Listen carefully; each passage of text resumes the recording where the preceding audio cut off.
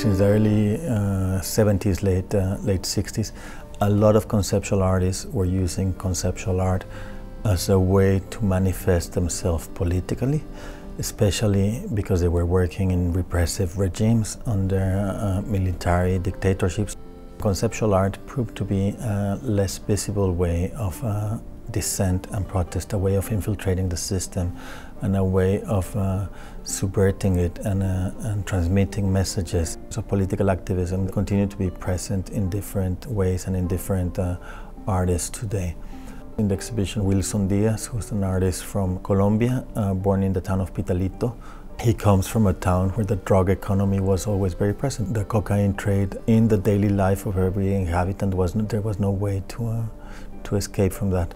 So different works that he's done have to do uh, from finding how the coca leaf is present in everyday life, how the coca leaf also had a historical uh, everyday uses as part of the culture, but also how its illegal economy and uh, its consumption beyond the borders of Colombia has produced a, a climate of, uh, of violence and of, uh, uh, and of, of, of murder, no? which has affected uh, in a way uh, many of the inhabitants not only of Colombia but of the rest of, uh, of Latin America. The works we're presenting, one is two drawings. The drawings are made with the pulp of the coca leaf and in one he writes the indigenous names of the cocaine leaf, and in the other the scientific, or as he calls it, the colonized name of the coca plant. So we go back to the idea of indigenous knowledge, to the idea of, uh, of how the plant was used uh, before, and how now, uh, even though illegal, it has been uh, transformed into a merchandise that produces a worldwide economy of millions. You know.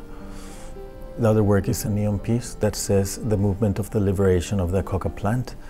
And of course, in doing so, he liberates the coke economy of all that that has violently affected uh, people like him and, uh, and, his family and friends and most of the people around him.